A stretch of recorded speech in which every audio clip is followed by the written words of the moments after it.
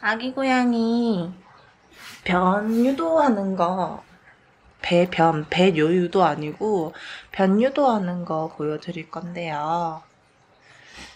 배요 유도는 이렇게 이렇게 휴지로 톡톡톡 쳐주거나 근데 저는 이 방법 안 좋아한다 했죠.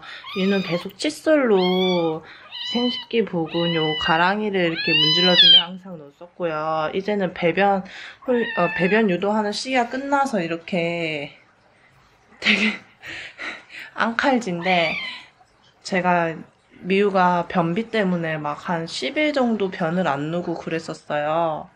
그래가지고 제가 좀 혼자 알아냈어요. 유튜브를 막 찾아도 안 나와가지고 막 이렇게 저렇게 하다가 되게 딱 효과가 나는 방법을 알게 되어가지고 소개시켜 드리려고요. 제가 그 방법을 쓴 지는 오래됐는데 이제 한 10일 넘었는데 안 쓴지 왜냐면 미우는 요새 배변을 혼자 하거든요.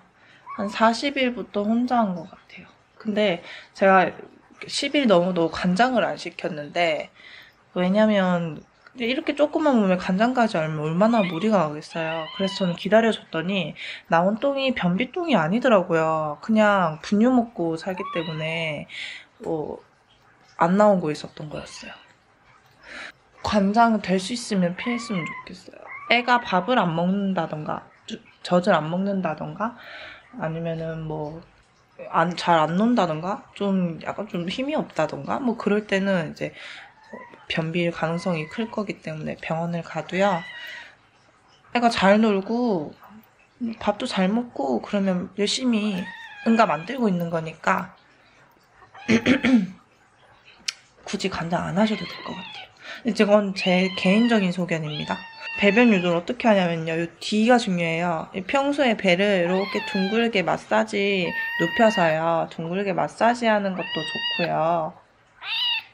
너무 싫어하죠. 이제 배변 훈련할 때가 끝나가지고. 사람이 해줘야 될 때가 끝나가지고.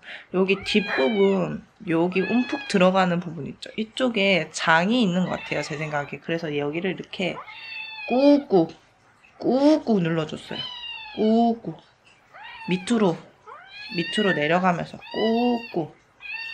꾹꾹 누르면 애가 표정이 막 기묘해져요. 응가 나올 때가 되면은. 그리고 우는 소리도 먹고 그럴 때 딱 내려주면은 자기가 화장실 갈 줄 아는 애면은 화장실 가고요. 아니면 화장실 안에 넣어주면은 애를 들어가는데 미우는 어제 밤에 응가를 해갖고 할지 모르겠어요. 요 정도 커도 오 갑자기 울음 멈췄죠. 이 약간 쌀 것 같아요.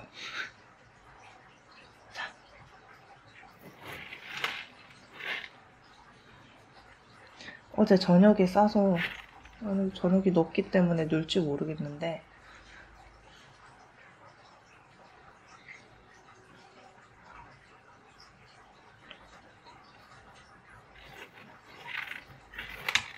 음 역시 안 우네요. 근데 이렇게 하면은